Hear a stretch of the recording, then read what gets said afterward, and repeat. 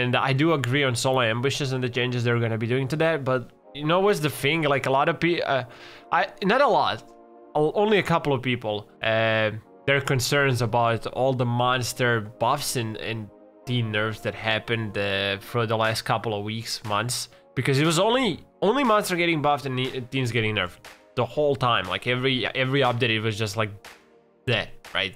No team buffs or whatever. Was just one role getting stronger and one role getting weaker. And I understand that because like a lot of monsters were getting bullied and stuff. Uh, however, I think like certain monsters needed a buff, not like the whole role, because like Wart felt great. Wart felt great, it feels great for the last couple of weeks, like even months. He just feels all around great. So like, so, like I would change up how Werewolf works like altogether because his kit he's not meant to be in this game, right? Uh, he's way too strong when there's no weapons. He's way too weak when there is weapons. So his kit is not meant to be in here. He just needs to be reworked, in my opinion. Uh, Dollmaster and Deathwire need certain buffs. They are great. They're fun. They're great. They're engaging. They just need to be buffed. Um, Teen Role needed to keep their kite weapons. Those are the weapons that buy time and like a lot of fun factor from this game comes when you play Teen and you actually have weapons and play the game.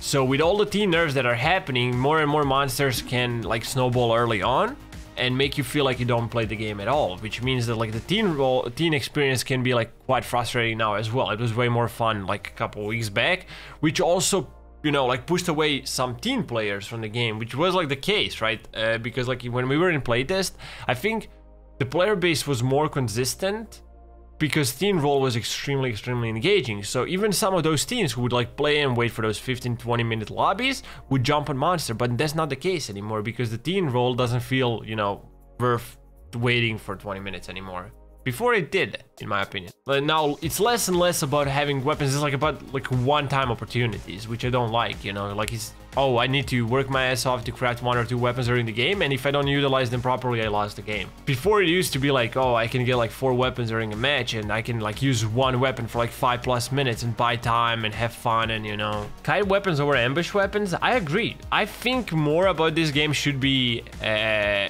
kite-wise, buying time, you know, like your skill as a teen to not waste away a weapon, right? I think weapons should work in a way where they're easier to craft but easier to waste at the same time. I feel like that would give you more options during the match. Like I told the streamers that, that stopped playing this game to come back. I think streamers were the big po portion of the community, but like you can't blame people if they're not like interested anymore, right? Uh, I feel like it's gonna succeed, right? VHS will succeed in the long run. Right now, it's in a really stale position because developers are trying to figure out what to do. I, I know how frustrating, it, like, I know what it looks to you guys. It, it feels like it's a simple solution.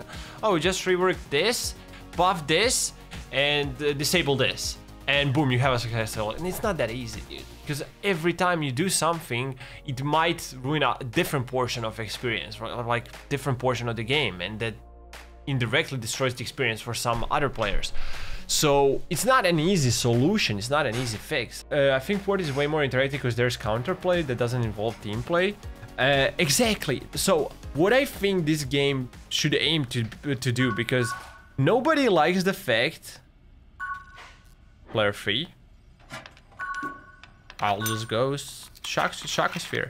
Um, what they need to do right now with the game is I think they need to make it more interactive and more dependent on 4v1. But at the same time, I think in every game, a team who played well should get a chance to do a 1v1 at the same time. Like, so... I heard him. Oh, I did. Yeah. Oh god, he's running secretary. Okay, as I was saying, so let's say one fix that I had in mind is like how to make the game more interactive. This would also make it more possible to play against Werewolf if they want to keep him the way he is, if they don't want to uh, rework Werewolf. Lower the, the the crafting times. I don't think crafting should be so long. Like generally, I think weapons should have less charges. Every weapon should have less charges, but the crafting time can be lower as well. So let's say, um, wait, Grave? Oh, Grieve. Is it Grieve? I'll just call you Mickey. Uh, Mickey, thank you for the follow. So imagine if you know how base crafting time for a weapon is 42 seconds? Make it 20.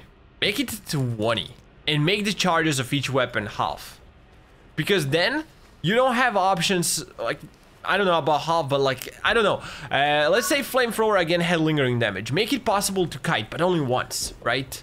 So if you make one single mistake with a weapon, you lose it, then the monster can push through, right? Uh, four weapons, much, much easier to waste. Monster goes in for four against four weapons, and he, he will, like, you know, he can waste away all of them in literally like 10 to 15 seconds if done properly, right? So I think generally the game should be focusing more on um, fighting on skirmishing, which is possible with lowering the crafting times and lowering the charges of every weapon.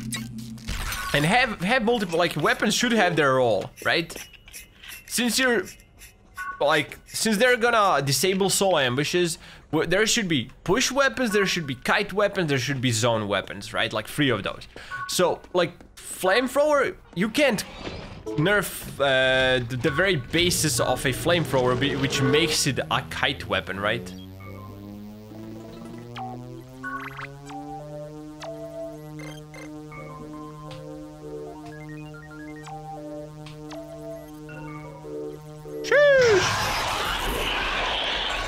It's pointless to craft, yeah it is. It's actually dumb how pointless it is because every other weapon does the job better now because like even flamethrower is almost impossible to like you can kite but only wart. And like honest viewpoint RC over flame weapon solar flare shot. But what? I'm not sure what you mean Pangle but I don't know about the amount, because like, they need to make it in a way where you can craft weapons fairly fast. So the monster has only like a small window where they can, you know, pressure you or whatnot.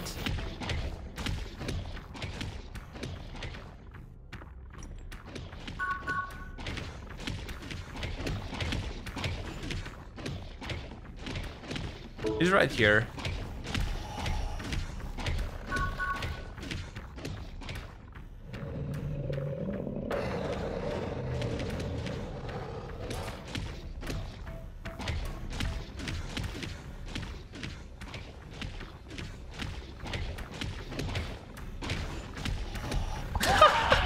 Took you long. Bro, where is everybody? We, we have three weapons and I ping and they know I'm here. And like, they know the monster is there. I don't know why they're not nerfing the eye, for example, they don't take any skill, uh, but they nerf a weapon, weapon that requires skill to kite and stuff. Yeah, like to distance yourself, to kite. I agree. And I think also RC. RC should be a bit stronger as well. RC, RC, RC Flyer. Because right now in a 1v1, if the monster stands in a doorway, nothing you can do. You can't kill the monster. You can't outplay the monster with an RC flyer if they're smart enough. If they're just patient enough to stand in, like you can you can go behind the corners and the RC flyer can't do shit. Problem is I guess uh, hard countered by werewolf and wart. But wart sure, but werewolf. I mean werewolf. Werewolf is a bit too speedy. You know, like sometimes like how often do you catch the the berserking werewolf with an eye? I think that this, like, I don't think I even closes the distance all that much. It's just like a bit, uh, by a tiny bit. I think Solar Flare is great, but people use it in a wrong way. In solo queue, when you're by yourself, it's not a great 1v1 weapon, and people need to stop thinking it is. It's great for your team, right? You, you, with Solar Flare, you play around your team, not for yourself. Each Stigma should have 1v1 kite weapon, single-use trick shot zone weapon utility. Exactly, exactly, exactly. Every Stigma should have, like, most importantly, every Stigma should have that one 1v1 weapon. What I really like about concept of lowering craft time and giving yourself a chance uh, to actually 1v1 the monster is like, you, at the very end of the game, when you're in a 1v1, me not having to sneak around the map and do some shady ass fucking plays just to pull off one weapon, just to get my one weapon out of my ass and then buy like 20 minutes of time with it. I think that's disgusting. First of all, because I like it could be just easier if you know, oh shit, it's not that hard to actually get that one weapon, but at the same time, I can't utilize it for like 20 minutes to just make monster experience miserable. I think the game would be way more fast-paced if the weapon crafting was faster, if solo ambushes were not a thing, because monster wouldn't have to worry about going behind corners and stuff. He can just like go from a station to station to station. He can just like face check everything. Um, And on top of that, in those 1v1 scenarios, team mess like makes one mistake, boom. Weapon is gone, they're dead. Like two minutes, three minutes. I'm on my way to you guys. Oh, he's not following. I don't know which way he's going. So yeah, change craft speed to make teams have weapons more often and then tweak monsters to fit more in the fast pace. Exactly, exactly. Like, imagine how much more of monster experience will be if the average length of a match was 10 to 15 minutes. That's like... I think that would be fucking fine, right? Not like...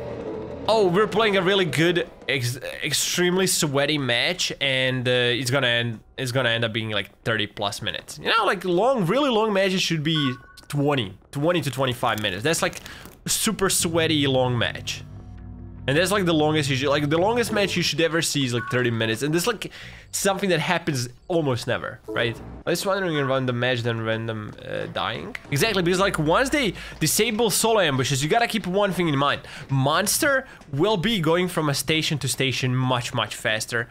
And that's a high, highly, highly risky uh, play on their end. Because no matter how much, oh, oh, like everybody's saying, oh, solo ambushes shouldn't be a thing, right? Yeah, they shouldn't. But you, you know how much that nerfs Teen indirectly? Because how much they can face check everything? Like imagine, imagine Monster not having that blockade, like that thing on, on their mind. Oh, I can get ambushed. No, you can't. Go, jump, run to every station. Every time. Like you can just do that, right? Now, getting from a station to station doesn't take you 10 seconds, but it takes you 7 seconds. That's one less weapon you, guys get to craft.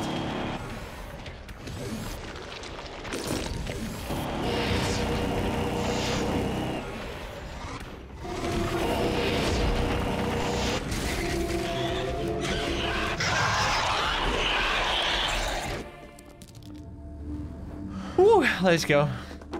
I'm gonna cry when they nerf it. I really hope they don't because I, I don't... Yeah, I mean, yeah, Solar Flare, it should work in a different way. I don't think it should be directly nerfed. I think it should work in a different way. I think there should be like a bigger downside to uh, placements, right? Because you can just place it, replace it, like you can just place it every time. I think there should be like a bigger downside, like how many charges. You should be losing charges every time you place it. But um, I think monsters should be like so. Let's say let's say this way. Solar Flare should passively deplete faster, right? So, like, the monster looking at it shouldn't deplete it so fast, because I feel like it goes away too easily if you forget about it. What the biggest problem is with you placing behind corners and stuff, so there should be a bigger downside to you placing the solar flare and keeping it in one spot, but a smaller downside of the monster looking at it. That way, it's better in fights and zoning when you need it to zone, and you can't, but, at the same time, you can't just place it in one random spot and leave it there for like five minutes, you know? Lessen prep time to make teams have more weapons more frequently, then give monster a bit more tracing in base kit, maybe mostly at the start of the match, lower monster defensive cooldowns, since more fights and you'll need it, uh, and finally tweak maps to give more fight zones, like gym in high school and pillars in a facility that skirmishes usually happen in. Oh, I like that. I really like that. I need. I think monsters should have their defensive ability more often as well. And I also think they definitely need to change uh, Howl per se. Being able to, uh, in in a very skirmish-based environment where you not where you won't be really playing defensive and stuff as neither of the roles. Uh, I mean, yeah, sure. There's gonna be games where you're gonna be playing at least a bit defensive and whatnot. But I still think like the monster shouldn't be able to like zone away four weapons immediately or uh, again, is one really frustrating uh, thing will keep on happening is when you play against a force tech, they will just keep their distance out of the howl range, and then you jump in on teens, like you speed up uh, on three disarmed teens, and boom, one person who wasn't affected just kills you, uh, which is really frustrating for both the teen and monster experience. If like you four of you get caught out every time, you can't do anything, and for monster, if you're playing against a well, well coordinated team, you will constantly get ambushed by that one person who didn't get. Um, affected by your howl. So I just think that generally they need to like fix up how that power works. Wart's armor is just a great all-around ability, you know, it's like a risky play, it's something that you just have to pull off, you know? Come on, buddy. Is he not gonna engage? Which way did he go? Probably feeder. I don't know, I'm kind of holding on to a string to stay on VHS. I, I completely understand, honestly. I understand why people are leaving, but um, I myself, look, I'm gonna be completely honest, right? Right now, the experience is kind of stale and repetitive. You constantly play around uh, against the same people. There's still the same issues in the game, you know, with monster experience, whatnot. But I'm hopeful for the future, right? You don't have to actively play now, like... It doesn't have to happen now, like the changes and stuff. I do hope for the future, like I do think that a lot of good changes are gonna come to the game. GG. Um, yeah, I think there's gonna be a lot of good changes for the game in the future. We're just gonna have to wait a while, right? Like, you don't have to, like, you play something else, enjoy yourself. With every new change, you can come back, check it out if you see what, what you like. And once VHS is in a good spot, I really do believe this game is gonna, like, pop off. It's gonna take off. Right now, it can't, right? Because we still have those issues that are preventing people from having fun at certain times and certain roles. It just, it's gonna take time, right? Like, it might take half a year, might take a whole year, might take two years, but I really am hopeful as to what, like, what's gonna happen with this game. Same people, same gameplay. Uh, yeah, as we already, it's not just about people. Like, you would definitely experience different playstyles if you played against different people, but I feel like the gameplay right now is a bit stale because of like those changes not happening soon enough. Uh, it's gonna get spicy, right? For Teen, it's still really interesting, but like for Monster, it's very, very similar, and that's why I think not only like doing those changes where the game is more fast-paced and more dynamic, but also some more interactions from the monster. It doesn't have to be too much. I also thought about one thing. I don't know if this is gonna sound dumb to you, but I don't think Rift should be a thing for Teen anyway, right? Um, there is enough information for you around the map. Like, you're just walking around the map, sooner or later you will know where the monster is because they can't hide their presence from you forever.